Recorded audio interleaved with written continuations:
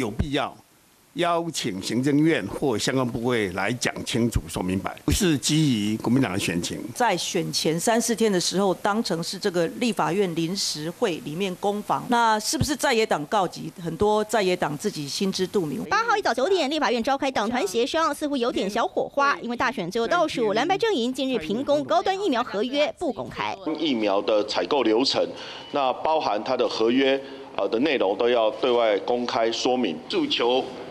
明天就召开临时会，蓝白不约而同喊话召开临时会，而在党团协商仅一个小时后有共识，将在周二早上九点，请行政院长陈建仁跟各部会首长针对高端争议专案报告并备询，在也仅有高端议题，蓝委还公布一段录音档。这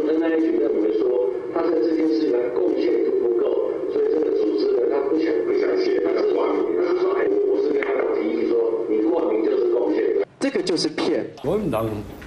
险如巨熊啊！没有招乱乱搞一通。柯建明很酸，蓝营没招。毕竟不止前卫副部长陈时中早清楚解释是保存非封存，在野党还挑在选前再翻旧案，政治操作意味浓厚。对民进党的了解了哈，那一定要做准备。契约叫什么的？冰山之一角。问题是，你知道哈，那个意味是怎么过的？那前头大概都有问题哈，伊就跟上，就不爱讲。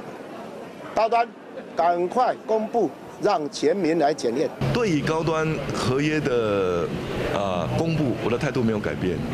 那现在立法院已经要进行临时会讨论，那我们就交给国会好好来讨论。我相信呢，啊真理会越辩越明。对柯侯的质疑，赖清德正面回击，明说公开没意见，蓝白的动作频频，难免被连结，意在赚取选举红利。孙俊黄金城郑海中，S N 九十五报道。